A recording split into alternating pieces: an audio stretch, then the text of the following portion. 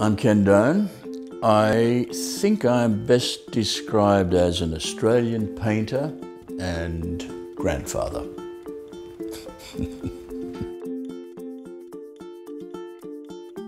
My day starts by coming here into this room, first of all, because I want to see what I've been working on the day before.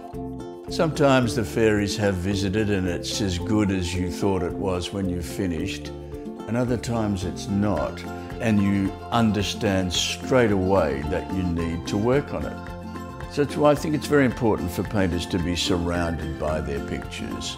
Then we go down to the water, we swim every morning, even through the winter. We have breakfast down there.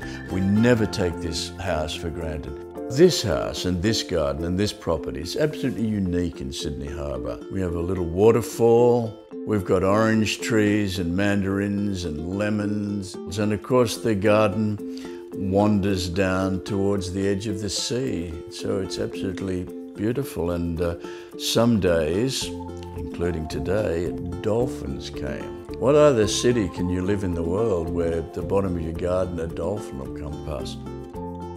It was the mid 80s that we first worked with Sheridan, and out of everything that we did in those years, it's the bed linen that people keep responding to. Say, yes, I had that duvet cover, I slept under that, and you know, it's always very flattering. And of course, it's a big duvet cover. If you treat it like a big painting, which I did, it suddenly changes the whole feeling of a room. And I guess it's fair to say there probably wasn't much around in those days like the stuff that we did with Sheridan.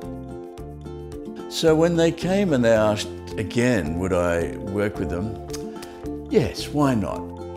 And of course, nowadays, with the printing technique, they can reproduce the painting perfectly. It's got every little nuance of every brushstroke and every mark and every little flick of the paint. It's essentially the painting. So why shouldn't you sleep under a painting? Will this be the last bed linen? I probably don't think so. I mean, I'm planning to live to at least 150, so I've got plenty of time.